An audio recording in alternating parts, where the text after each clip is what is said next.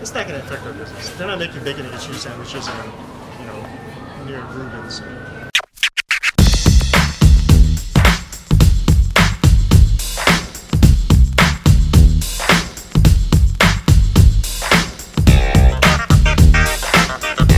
They're gonna put the merchandise inside the building, right?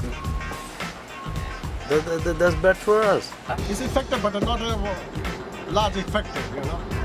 Everybody making business and everybody making money in, in this country, so everybody have a right.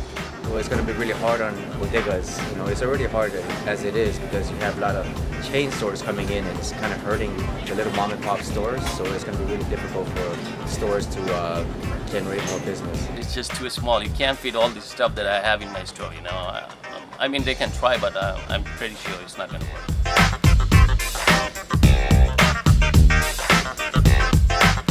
City is not going to be happy.